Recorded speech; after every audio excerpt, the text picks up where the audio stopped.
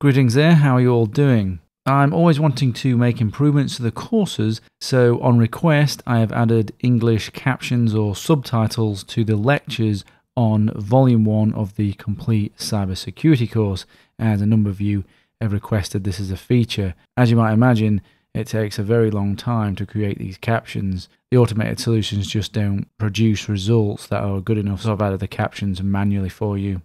And if you're not sure how to show the captions, if you go down to a video that you want to play, play the video. Let's skip this along a little bit so we can get to the text. Then you click down here and you can see English US. And there we go.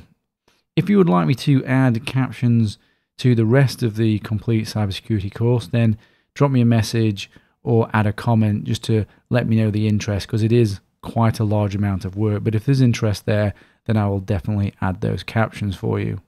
I also have some other great new features and tools that I'll be introducing to the courses, and those will be coming quite soon.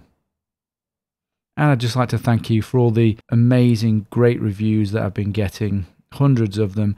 Because of you, my courses are the most popular and top rated security courses on Udemy, and that's among quite a lot of competition. So, thank you very much for all of those amazing, amazing reviews for the course, and I'll chat to you later.